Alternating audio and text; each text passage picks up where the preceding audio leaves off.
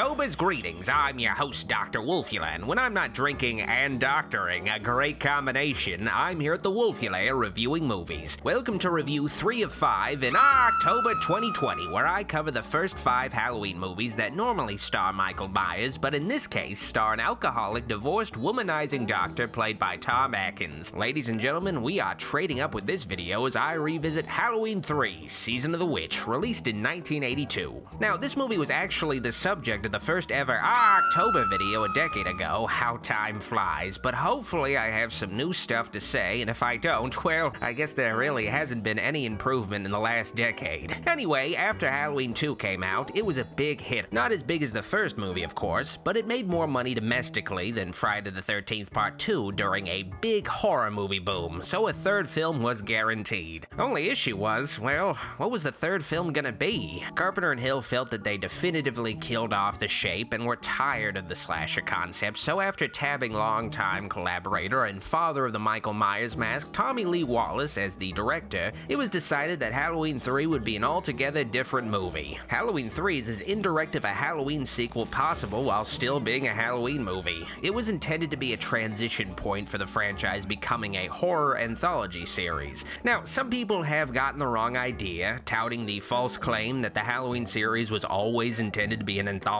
series from the very beginning. That's not the case. It was simply decided at the start of Halloween 3 to become an annual anthology series with different stories because the creators were sick of Michael Myers. Stop it! The script itself was penned by Nigel Kneale, a respected British sci-fi screenwriter brought on board, and he definitely brought along his sensibility to the project. Without jumping ahead, Halloween 3 definitely feels like a British horror movie that just happens to take place in America. Halloween 3 isn't a knife movie, it's a pod movie in the vein of Invasion of the Body Snatchers. For the leading man, Tom Atkins, who worked with Carpenter on The Fog and Escape from New York, was chosen for the role. Now, I'm gonna be upfront. I've always liked Halloween 3 because from my first viewing, I knew exactly what I was getting myself into, but theater goers in 1982 don't have the luxuries we have today, and Universal's ad campaign wasn't exactly clear about what they were going to get, so Halloween 3 was unfortunately lambasted upon release. The film's reputation has, of course, since changed, but enough gabbing. Allow me to show you why this once misunderstood sequel has become a Halloween cult classic. Before I delve into the plot, I gotta comment on the flick's opening sequence, a serious departure from the previous films. Orange horizontal lines composed of pixels gradually flicker to life over a particularly atmospheric sci-fi sounding Carpenter Howarth track. Eventually the lines are revealed to make out a jack-o'-lantern icon on a computer screen. The intro gets across the film's overarching theme. Before the movie was released, Universal issued a very campy trade ad that featured a computer wearing uh, a witch hat with the tagline, Witchcraft enters the computer age. A different terror begins. Essentially, Halloween 3 is about the ancient traditions of the Halloween season colliding with the technologies of the modern day, hence the jack-o'-lantern on a computer screen motif. The plot itself opens with a guy who I think was one of the dudes killed in the Godfather montage evading more of Don Corleone's thugs.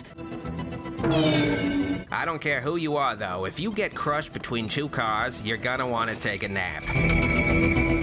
At a nearby gas station, a rejected Lamont Sanford watches an exposition double feature. The only bit of setup that Stonehenge was kidnapped. It weighs more than five tons, making its disappearance a mystery indeed. Followed by the first Silver Shamrock commercial, which is probably the most iconic thing in the whole movie. Visually, the Silver Shamrock commercials are basic, but what makes them stand out besides establishing the company and its trio of glow-in-the-dark masks is the damn catchy earworm jingle that plays throughout the movie to the tune of London Bridge is Falling Down. The song starts out seeming goofy, but as the film goes along, the tune gradually carries on a sinister tone as a countdown to the apocalypse. If only our current apocalypse had such catchy theme music. Anywho, the gas station attendant is jump scared by the late night jogger. They're coming. I'll have what they're having. Meanwhile, we're introduced to Dr. Dan Challis, played by Tom Atkins, the star of this film, who is the exact opposite of the teen girl protagonist these movies usually have. Dr. Challis is a real man's man who practically has beer coursing through his veins, always making sure he has a brewski at the ready in case of emergencies. Drinking and doctoring, great combination. Dr. Challis is a ladies' man, too, a real womanizer virtually every female character in Halloween 3 shows some attraction to or had a past relationship with this suave motherfucker. Even this bitch Tom Atkins barely shares a scene with was Tom Atkins' actual wife at the time. Dr. Challis is also a family man only shown on screen with his kids one time late at night briefly, but he makes sure to make the occasion special, gifting them plastic masks he found at a drugstore for 50 cents that they very quickly scorn in favor of their deluxe silver shamrock masks. Ungrateful brats. Well, at least their dad's masks aren't going to turn their fucking heads into bugs and snakes, though that does sound kinda cool. Nice try. Oh yeah, Challis's nagging ex-wife is played by Nancy Kyes, one of the few returning cast members from the original Halloween. Jamie Lee Curtis also returns, but only on TVs playing clips from the original Halloween and in voice as an announcer or phone operator. I'm sorry, we cannot complete your call as dialed. Well, it's still more dialogue than she had in Halloween 2. Dick Warlock, who played Michael in Halloween 2, returns as well as a different mute guy in a suit. Halloween 3 prominently establishes that in its universe, the events of the first two Halloween movies are fictional, but people still got confused. About the Silver Shamrock Mask, there were only three, which is a bit lacking in selection for Halloween Mass, but the variety is there, featuring the Halloween season staples of a jack-o'-lantern, a skull, and Sarah Jessica Parker. The masks were in reality made by Don Post Mask Company, which evidently had no problems manufacturing masks for a movie with the message that masks might turn your heads into bugs and snakes if you aren't careful. The masks are beautifully rendered and distinct in design. The witch and skull were modeled after existing Don Post masks, but the jack-o'-lantern was custom made for the film. You can almost buy that every child in the world would want one of these masks, regardless if it matched their costume or not. Almost. The overarching plot of Season of the Witch is one of conspiracy and intrigue. The man clutching a silver shamrock mask is taken to Dr. Challis's hospital, where I'm sure he'll receive the best boozed up medical care possible. But the man is given a surprise nose job in his hospital bed and the mysterious rhinoplasty surgeon does his best Richard Pryor impersonation. Witnessing such a savage act would shake any other man, but luckily Dr. Challis has alcohol and cartoons of marijuana plants to filter out any negative emotions. Still, when Ellie here, the daughter of that dead guy with the fucked up nose, played by Stacy Nelkin, comes searching for answers, well, Dr. Challis decides to come along for the ride. Probably to get laid based on him bringing a six pack and telling his ex wife he's not hanging out with the kids. I mean, let's face it, nothing makes a lady hornier than finding out her father was murdered a few days ago. What he said was, they're gonna kill us all and in a little while he was dead. Now, Ellie's dad owned an old-fashioned novelty shop that sold Halloween masks. Not one of them newfangled hardware stores selling Halloween masks. And the super sleuths figure that whatever got Ellie's dad killed started in Santa Mira, home to the Silver Shamrock headquarters, the source of only three kinds of masks and a really catchy jingle. Santa Mira? Where they make those? Oh. Little place, not too far away. Now, Santa Mira is a company town with a real eerie Stepford Wives feel going for it. Something is off, and it doesn't help that literally every citizen in town is watching you. The Silver Shamrock Company's name isn't just for show. Santa Mira is a Northern California town with a predominantly Irish heritage on the West Coast. I don't fucking know how that happens, but hey, at least they don't have to pretend they're not shooting in California with this movie. The actual California town that portrayed Santa Mira is named Loleta which is a sketchy as fuck name, but it's a great looking location with a wide open small town vibe that feels like a front, like it's hiding all kinds of dark secrets just around its corners. Now, Halloween 3 is a pod movie, not a slasher film, but the producer of the movie, Dino De Laurentiis, demanded that there still be certain slasher conventions, namely a gory body count and some fucking. Now, about the gore, well, the original writer of this film, Nigel Kneale, took offense to his script being rewritten to add more graphic violence and had his name removed from the credits, which is understandable, but even though Halloween 3 has gore that isn't really necessary for its kind of horror movie, the violence isn't too excessive and doesn't really feel all that out of place. The movie has such a goofy premise that some cartoon violence feels right at home even. Still, the middle act admittedly has Dr. Challis and Ellie staying at a motel, where a bunch of other characters are also arriving simultaneously to stay there that serve no function beyond padding out the body count. This place is a zoo. There's the Kupfer family, Buddy, Betty, and Buddy Jr., a quirky clan whose patriarch is the highest selling vendor of Silver Shamrock's murder masks. Buddy Kupfer and family, here to see Mr. Cochran. Also, there's Marge Gutman, who again is played by Tom Atkins' actual wife at the time, a woman who is miffed about a mass supply chain problem. They may make great masks, but ever since they started doing big volume business, the little guy has to stand in line, you know what I mean? Of course, we can't have Tom Atkins, a man pushing 50 in this movie, paired with his actual age appropriate wife. It's just not something anybody is willing to accept. No, no, we need to see this guy fucking a 23 year old chick he just met with his real wife reading a book next door, and see Dr. Challis sucking on this girl half his age's titties because no woman can resist Tom Atkins, and you better believe we see his ass. Fuck yeah. Oh, also amidst all the character introductions and sweaty lovemaking going on, Dr. Challis meets Santa Mira's local drunken vagrant who claims that something odd is going on in Silver Shamrock's factory. Seen the TV cameras yet?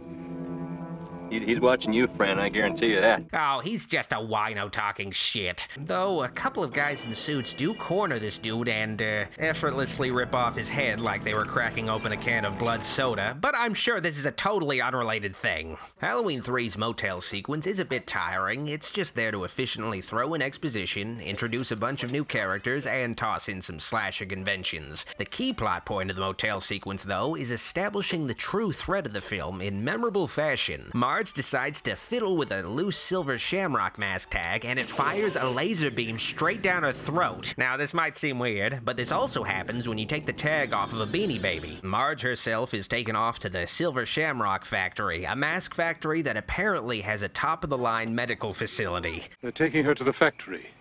Sure, we've the most marvelous facility there for emergency treatment. This is the equivalent of a parent telling their kid that their dog didn't die. They just went to a farm where they can get fresh air. This scene introduces Conal Cochran, played by the late Dan O'Herlihy, the head of the Silver Shamrock Factory, a mask maker and novelty inventor, the Willy Wonka of Halloween. My apologies for that little bit of a disturbance last night, but I want you both to know that Mrs. Gutman is going to be fine. Seeing as one of his mask tags shot a laser beam into a person's fucking face, it goes without saying that Cochran is the film's main antagonist, and O'Herlihy is fantastic in the role. Hey, Mr. Cochran, just what is the final process? Ah, sure, it's just a little bit of this and a little bit of that. Conal Cochran is a pure evil character with the most sinister, over the top ambitions, but he presents himself as this cheery, charismatic, Walt Disney like figure incapable of malice. Even when the jig is up, he still pretends that he's totally on the level for quite a while. I do love a good joke, and this is the best ever. A joke on the children. O'Herlihy he enjoyed working on the film, and you can tell he had a fun time playing the character, but he later stated that, well, this movie sucked. But hey, I don't think this movie was going to be many people's thing. Before I move on to the film's memorable final act, I do gotta give random kudos. The Carpenter and Howarth score for this film is fantastic. It feels like a marriage between the classic Halloween score and the more futuristic Escape from New York score, perfectly getting across the film's science fiction themes and old school Halloween mythology. Of course, the Silver Shamrock theme is probably up there as the second or third most memorable piece of music in the Halloween franchise, though for totally different reasons. What's the matter?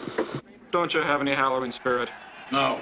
Dean Cundey, for whatever fucking reason, decided to return a third time as the cinematographer for a Halloween film, and with a lesser cinematographer, this film could have looked like low rent schlock and the film would have totally fallen apart. But Cundy brings a level of class to the visuals that elevates Halloween 3, bringing Santa Mira to life as a town perpetually bathed in the orange light of sundown during the day, and at night as a place of stark shadows. When you see the montage shots of trick or treaters, it's fucking incredible incredible looking how they're mostly in silhouette, but you can still make out exactly what their costumes are. Winding things down, Ellie and Dr. Challis are pretty clear on there being evil stuff going on in the mass factory, seeing as they have clones of the guy that killed Ellie's dad, so they decide to leave town, but not before splitting up.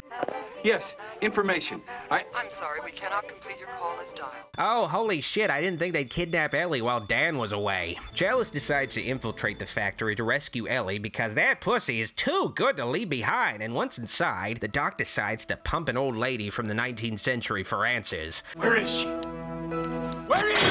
Great. Even grandmas are being replaced by automation. Challis gets into a brawl, and the film confirms definitively that Tom Atkins can punch a robot to death. It also confirms that robots are filled with tang. Mmm, delicious. Yeah, Cochran has an army of robots that do his bidding. Sophisticated androids that perfectly resemble humans, but it calls into question. If he could do this in the 80s, why is his main business making masks? He could sell robots that could turn on their masters, or he could simply have androids infiltrate society, or, or just have robots shooting lasers that turn people's heads into bugs and snakes, or something else. The outer features took much longer to perfect, but then, of course, in the end, it's just another form of mask making. I feel like the androids are just thrown in as an idea too many when they could have just been human slaves brainwashed into following Cochran's orders like robots. Seems like just an extra conspiracy plot point that leads to that coroner finding robot parts in the movie's earlier blown up car, which results in her getting her haircut messed up with a drill. I mean, the android twist is followed up immediately by Cochran showing that he stole fucking Stonehenge in the most underexplained way possible.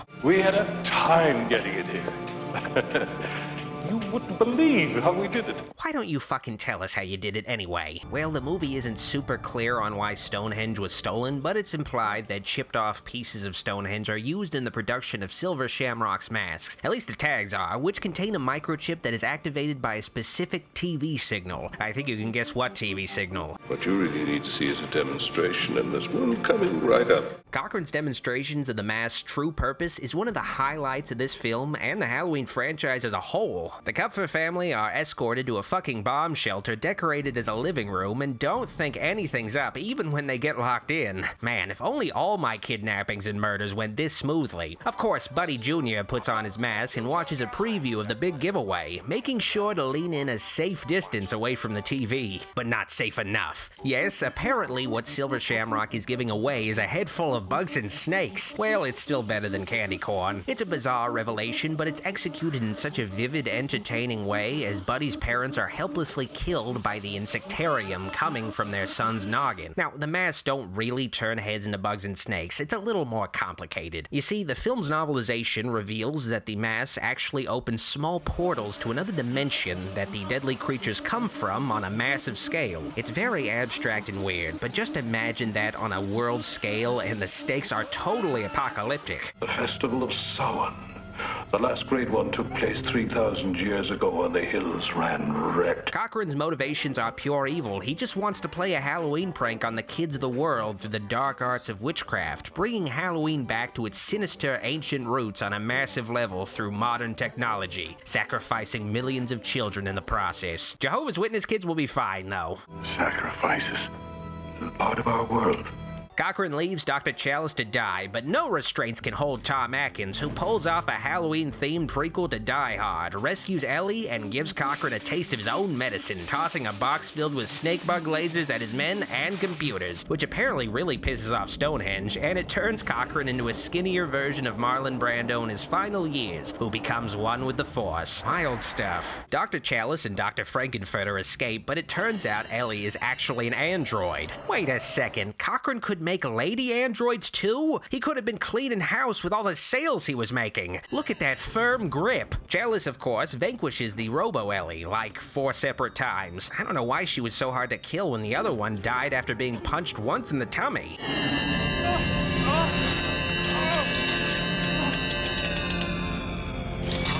Anyway, though, the film ends symmetrically with Challis rushing to the gas station seen at the start, that for some reason gets trick or treaters. Challis uses the station's phone to plea for the major TV networks to pull their Silver Shamrock giveaway ads. All but one is pulled, despite Tom Atkins' highly persuasive uttering of Stop it. Stop it! Stop it! Honestly, it's pretty impressive that he was able to convince one guy over the phone who apparently had the power to pull a multi million dollar ad campaign off of two TV networks. That's a pretty big win on such short notice by itself. I count this as a happy ending.